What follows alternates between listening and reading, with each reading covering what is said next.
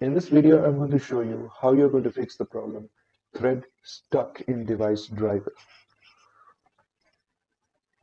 This might happen due to the reason that your device driver is probably not working correctly.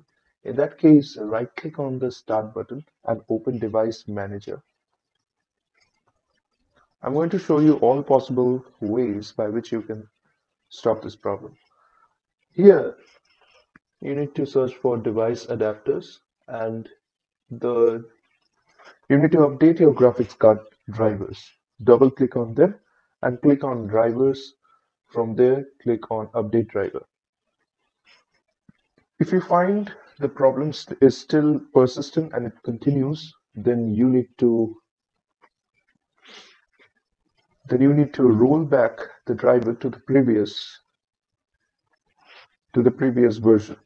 If it was updated from here, you will get this option enabled. If you don't find this option enabled, then you need to insert the disk or the software that came with your laptop or the PC that you're using to install the correct version of the graphics card uh, driver. Now, this problem often happens because your graphics card is totally damaged. When this is the case, then nothing can save you uh, in that in such a case what you need to do for example my this graphics card amd radeon 6600m and 6700m series this one is a damaged graphics card and i'm not using this. In such a case what you need to do is click on it and click this button that is the disable device. In such a condition the device will get disabled. Now the problem with Windows is it often reinstalls the device which you are disabling. In such a case, you need to try out another method. Uh, the same thing happened for me. So what I did is installed a version, the latest version of, I'm going to show you for my graphics card. That is the AMD Radeon uh, 6600M and 6700M series. I went to the web from here so what I did is I went to the web and searched for my graphics card. That is AMD Radeon HD 6630M driver and from the official website I went to the correct version of the driver since Catalyst software suite was not working correctly so I downloaded the beta version of the driver that is the Radeon Software Crimson edition after downloading, I installed it. So I installed the latest beta version of the graphics adapter or the graphics driver which was released by AMD. That is AMD Crimson for this. Then I went to, I'm going to show you. I went to program files x86 from here AMD CNext these folders. And then you need to find out here this application. That is basically the AMD Catalyst Control Center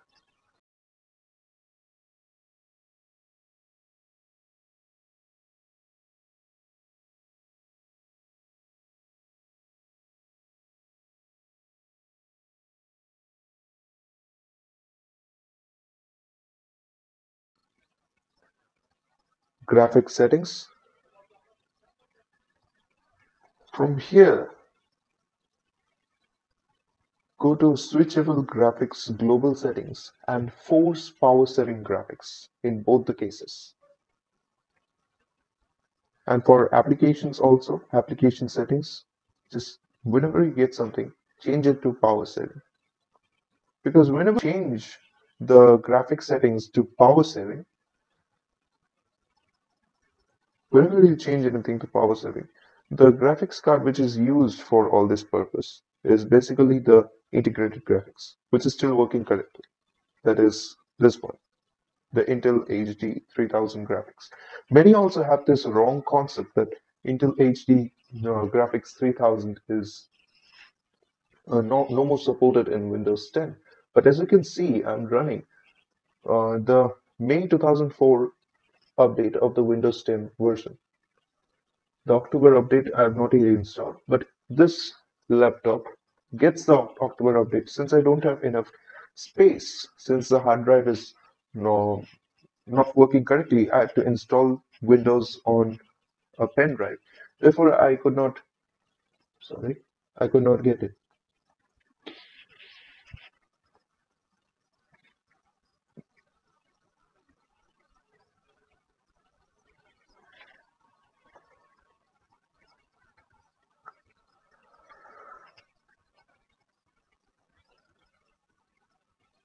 This is uh, basically the version of Windows 10 that is running here. Here, uh, searching for this option. Yeah. Intel i3, second generation processor, running at 2.1 gigs. The 2004 version of Windows. So it's basically not a problem if you do this. Now, it might happen that you're not able to uh, turn on your computer at, at all because of the problem. In such a case, you need to quickly boot into safe mode whenever you're entering here. In that case, you need to press Shift plus Restart in order to enter safe mode. Or if you're not able to do that also, even before that the stop code or the dead screen uh, is showed up, then in such a case, what you need to do is um, you need to create a bootable device of Windows 10, and from there, you need to um, uh, you need to boot into that the bootable device, select the correct configuration, and from there, um, fix or repair your computer. Choose that option to get all the advanced Settings for booting into safe mode. So the final option that remains for you if your graphics card is damaged, that is to install a version of uh, your driver or the command center that uh, doesn't cause that uh, the stop code and use the time for entering into the settings of the device and change the device settings to power saving mode so that you don't use the dedicated graphics and only use the um, integrated graphics. This should not be a problem for uh, people who are using uh, their desktop computers because the graphics, the dedicated graphics card can probably be removed if needed, but that is not the case for laptop users. So by this method, you can disable it permanently.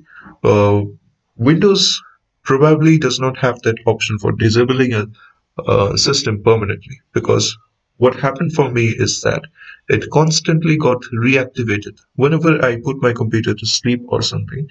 It the graphics card enables itself and install the correct drivers and then it would just show the dead screen.